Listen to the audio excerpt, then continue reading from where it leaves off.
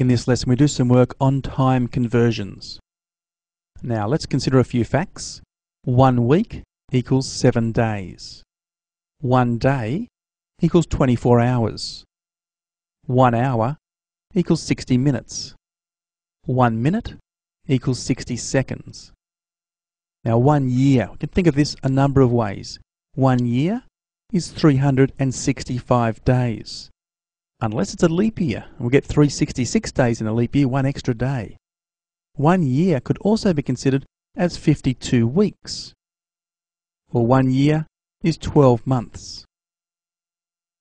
Let's look at some examples. We're asked to complete the conversions. The first one we have 4 hours equals how many minutes? Now before doing any conversions, let's recall a few things. If we're changing from big to a small unit, we're going to multiply. The reverse is true. If we change from a smaller unit to a bigger one, we divide.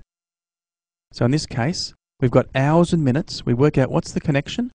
We can see that one hour is 60 minutes, so we're going to be working with a factor of 60. And we are changing from hours to minutes. So we're changing from something bigger to something smaller, so we're going to multiply. So we multiply by that 60. So we have 4 times 60 is 240. So 4 hours equals 240 minutes. Or the next one we've got 180 seconds equals how many minutes? Well, the connection between seconds and minutes is that 1 minute equals 60 seconds. Now we are changing from seconds to minutes, so we're going from a smaller unit to a bigger one, so we divide. We divide by that 60.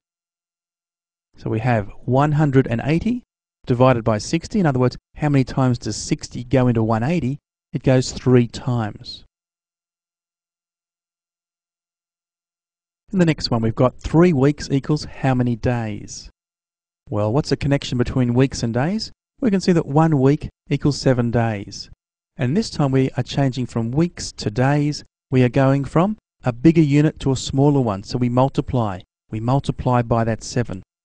And three times seven is 21. 72 hours equals how many days? Well, hours and days, what's the connection? Well, one day is 24 hours, so we're going to be using a factor of 24. We are changing from hours to days. So we're going from something smaller to something bigger. So we divide. We divide by that 24. So we have 72 divided by 24.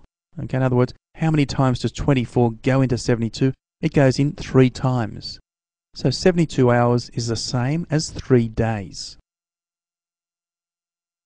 The next one we've got half a year equals how many months? Or years and months, what's the connection? One year is 12 months. So we're going from years to months. So we're going from big to small, so we multiply. We multiply by the 12. So we've got a half times 12. In other words, what's a half of 12? A half of 12 is 6. So a half year is the same as 6